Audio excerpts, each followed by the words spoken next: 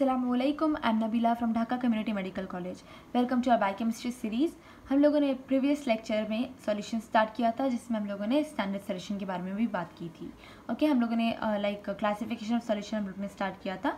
तो आप लोग उसका वीडियो ज़रूर हमारे प्रीवियस लेक्चर से देखें इंशाल्लाह आपको बहुत अच्छा लगेगा और इजी लगेगा इंशाल्लाह।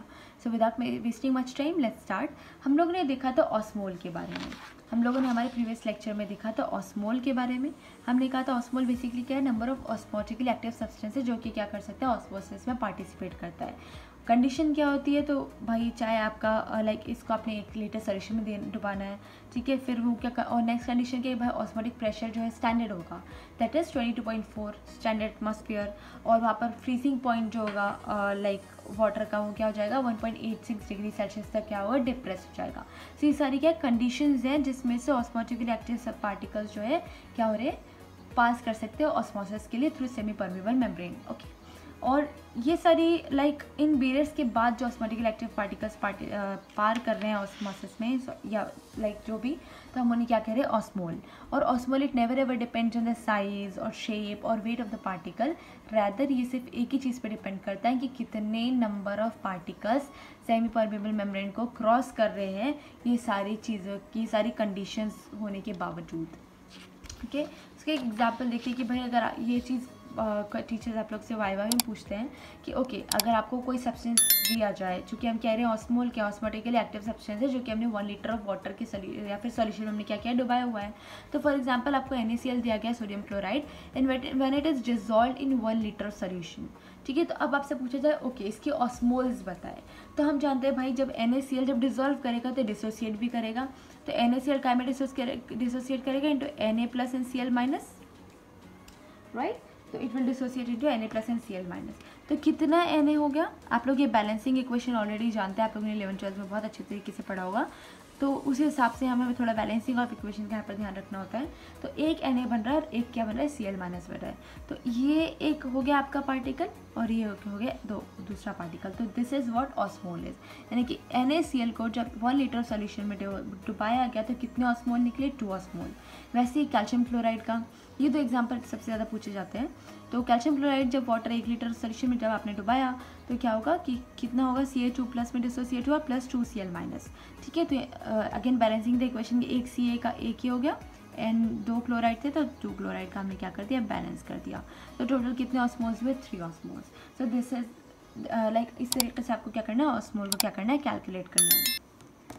अब लास्ट क्लास में हम लोगों ने इन चीज़ों की डेफिनेशन पढ़ी थी. अब मैं आप लोग को जैसे एक फार्मूला के तौर पे बता रही हूँ कि भाई मोलैरिटी क्या number of moles of solid in one litre of solution ठीक है, हम लोग जो बोल रहे थे ना लास्ट क्लास में कि हम लोगों ने क्या डिस्कस किया था? कि one gram molecular weight of one gram molecular weight यानी कि मोल्स की हम लोग बात कर रहे हैं बेसिकली तो पहले मैं आप लोग को बता दूँ कि मोल्स एक्चुअली होते क्या हैं? तो मोल क्या है? Molecular weight of substance expressed in gram यानी कि ग्राम में आपका कितना मतलब मान लीजिए एक ग्राम में कितना मॉलिकुलर वेट है? या फिर हम कहें कि भाई जो भी मॉलिकुलर वेट है, उसको आपने क्या किया? ग्राम में एक्सप्रेस किया। फॉर एग्जांपल भाई H two S O four sulphuric acid का एक मोल यानी क्या है? कि इसका ग्राम में ग्राम में क्या वैल्यू होगा? इसका मॉलिकुलर वेट क्या है भाई? तो नाइन्टी एट ग्राम्स आता है। और लाइक नाइन्टी एट ग्राम्स चूँकि हम ग्राम में एक्सप्रेस कर रहे हैं तो ये क्या हो गया? मोल हो गया। लाइक हाइड्रोजन का एक हाइड्रोजन का वन मॉलिकुलर वेट है तो दो हाइड्रोजन का, दो होगा सल्फ़र का सिक्सटीन होता है ऑक्सीजन का लाइक यही होता है एट के आसपास, है ना? तो एट फोर से थर्टी टू इस तरीके से क्या होता है, वो नाइनटीन हो जाता है। ठीक है? तो ये हो गया हमारा मोल। अब देखते हैं मोलारिटी क्या है तो number of moles of solute by one litre solution के एक लीटर सोल्यूशन में कितना मोल है सॉल्यूट का। हमें हम मैंने ऑलरेडी आपको क्लास लेक्चर में कहा है कि हम हमेशा देखेंगे क्या सॉल्यूट बाय समथिंग इधर सॉलिड बाय सॉल्वेंट और इधर सॉलिड बाय सॉल्यूशन जब सॉल्यूशन होगा तो it will be in one litre solution या आप कह सकते हैं thousand M L of solution but standard one litre होता है। और अगर सॉल्वेंट हुआ तो one K G of solvent okay next आता है molality number of moles of solid in one K G of solvent normality number of gram equivalent of solid by one litre solution gram equivalent क्या था? Like mole by valency osmolarity क्या है? Number of osmole in one litre of solution osmole अभी मैंने आप लोगों को calculate करना बताया।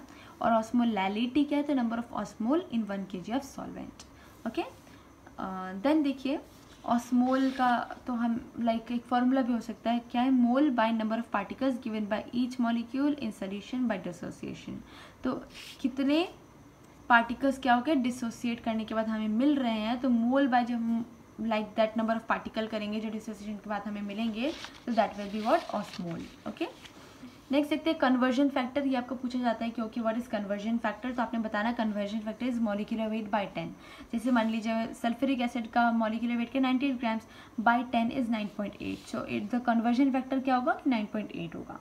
और इसकी कोई लाइक like, यूनिट नहीं कह सकते बट ग्राम लाइक अगर आप कॉन्सेप्चुअली देखेंगे तो बट यूनिट नहीं होता इसका, ठीक है? फिर नॉर्मैलिटी अगर निकालनी है तो it is molarity multiply by valency so ये है आपका नॉर्मल देखते हैं ऑस्मोटिक प्रेशर लास्ट चीज़।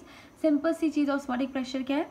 कि भाई ऑस्मोसिस करने के लिए जो ऑस्मोटिक के लिए एक्टिव पार्टिकल्स हो क्या है? कि वो सेमी सेमी परमेबल मेम्ब्रेन क्या क्रॉस ना कर सके, इसलिए जो प्रेशर लगाया जाता है, उसको हम क्या बोलते हैं? ऑस्मोटिक प्रेशर यानी कि कुछ प्रेशर ऐसे होते हैं जो क्या होता है कि भाई किसी चीज़ के फेवर में होते हैं और कुछ प्रेशर क्या होता है? अगेंस्ट जाते हैं. तो ये क्या है? अगेंस्ट जाने वाला प्रेशर है.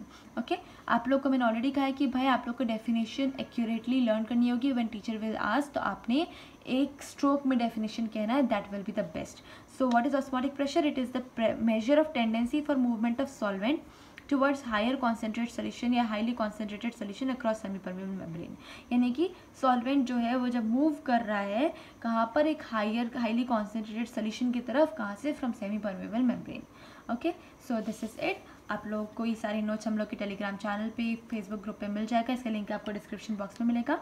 And please do like share and subscribe thank you